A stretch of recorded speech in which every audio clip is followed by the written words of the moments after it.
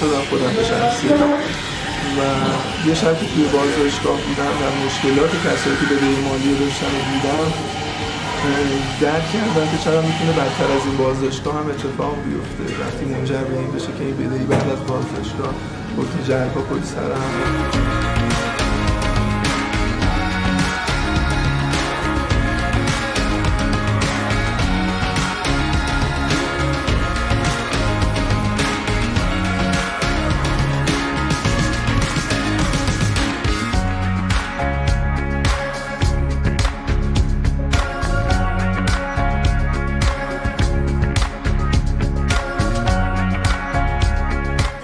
فضاش خیلی واسمون جالبه. هم مثلا حالا اگه هم بخوایم حرف بزنیم یا مثلا بخوایم کسی رو معرفی کنیم بیشتر بخواد فضاش هم هست.